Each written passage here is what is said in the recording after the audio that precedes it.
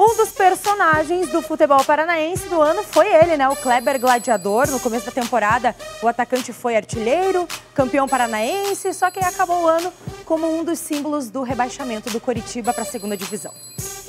Quem olha apenas os números do Kleber em 2017 até imagina que ele teve uma boa temporada. Em 31 jogos, o Gladiador fez 16 gols. No Paranaense foi goleador isolado, 11 bolas na rede.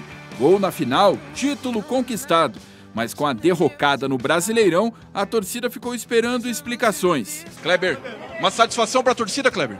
O rebaixamento jogou tudo por água abaixo. E o camisa 83 teve influência sim nessa história.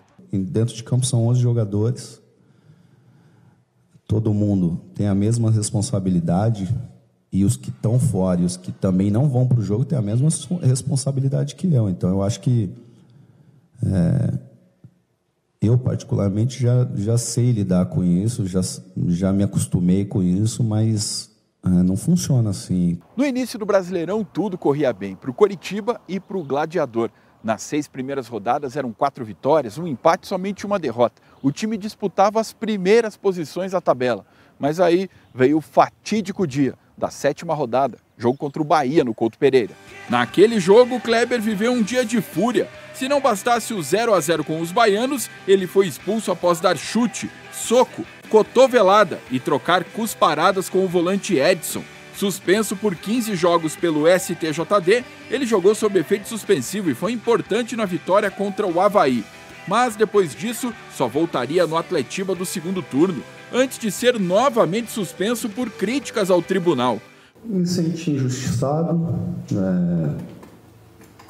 me senti, acho que me pegar para exemplo, acho que foi ridículo o que fizeram, o STJD, né, eu tive lá e para mim foi vergonhoso que eu, eu tive lá e vi e ouvi coisas que para mim é vergonhoso, para mim é bem cara de Brasil mesmo.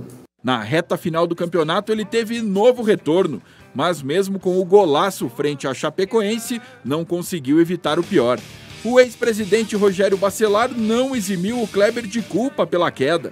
Dizer, pesou um pouco no, no, e na continuação a liderança do Kleber, que, é, que era o capitão todas, todas as partidas, dizer, deixou de ser. Com isso aí, vou dizer, eu, eu acho que foi isso aí mais ou menos que desintegrou um pouco o pensamento dos jogadores, a, a atitude dos próprios jogadores. Com contrato vigente para 2018, o gladiador deve seguir no coxa e a torcida continua esperando as explicações. Kleber, uma satisfação para a torcida, Kleber. Muito bem, agora quero